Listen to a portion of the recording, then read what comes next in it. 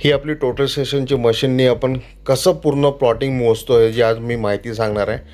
नमस्कार मी गणेश खामकर. आज मी तुम्हाला आमच्या टोटल वरनं आम्ही आमचं सावर्ड्याचा डोकरोलीचा खूप सुंदर प्लॉटिंग करतो आम्ही. त्याचं संपूर्ण मोजणी केलेली आहे. त्या संदर्भामध्ये आज मी तुम्हाला माहिती सांगणार आहे.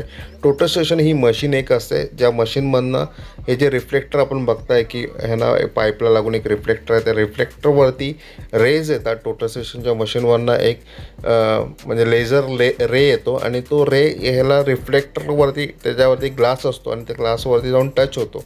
तिकडनं आपले पॉईंट्स मिळत असतात किती डिस्टन्स आहेत त्या डिस्टन्सप्रमाणे आपल्याला पॉईंट्स मिळत असतात आणि आपण एक्झॅक्ट पॉईंट त्याच्यावरनं मिळतो. आपण बघताय की आपण तो रे रेचं जे हे आहे स्टँड आहे. तो स्टँड आपण पुढे मागे करतो आहे. अर्धा अर्धा इंच एक एक इंचामध्ये पण फरक या प्लॉट ह्याच्यामध्ये रेजमधनं मिळत नाही. पूर्ण प्लॉट पूर्ण लेआउट एकदम प्रॉपर मिळतो. आपण बघता आम्ही किती वेळा तो रेज ह्याला फिरवत असतो. म्हणजे अर्धा इंच एक इंच इकडे तिकडे करतो. आणि जेव्हा एक्झॅक्ट पॉईंट मिळतो आपल्याला तर तिथे आपण खिळ्याच्या याने माध्यमातून म्हणजे पा सहा सात इंचाचे जे खिळे असतात त्या खिळे पूर्ण ह्याला जमिनीमध्ये ठोकून घेतो. ते ठोकून घेतल्यानंतर आपण त्याच्यावरती आपल्याला मार्किंग व्यवस्थित कळायला पाहिजे. म्हणजे खेळ दिसत नाही ग्राउंडमध्ये कधी कधी. म्हणून व्हाईट चुना संपूर्ण गोल असं लावून घेतो. पूर्ण संपूर्ण गोल व्हाईट चुना लावतो. प्लस त्याच्यावरती येल्लो ना ऑइल पेंट्स पण करतो.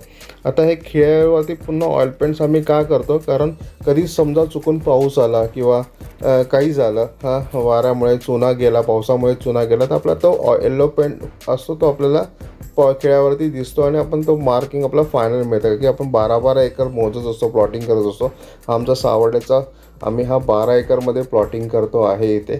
तर त्याच्यामध्ये ह्यांना कुठेही कधी असं मिस पॉईंट व्हायला नाही पाहिजे आणि पूर्ण लेआउट चेंज होऊ शकतो. असे मिस पॉईंट झाल्यावरती आपल्याला लक्षात येणार नाही जेव्हा एवढं पूर्ण एवढे म्हणजे पॉईंट्स लागतो आणि त्या पॉईंट्समध्ये आपल्याला लक्षात येऊ नये म्हणून आम्ही ही प्रोसेस करत असतो. म्हणजे खेळ मारतो खेळाच्या भोवती पुन्हा चुना टाकतो आणि चुना टाकून झाला हा की त्याच्यावरती पुन्हा येलो कलरचं मार्किंग टाकतो हा आमचा डोकरोलीमधला प्रोजेक्ट आहे. डोकरोलीमध्ये खूप सुंदर प्लॉटिंग आम्ही करतो आहे आपल्यासाठी.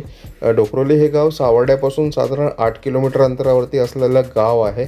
आणि ह्यांना सावर्डा रेल्वे स्टेशनपासून फक्त पाच किलोमीटर अंतरावरती गाव आहे.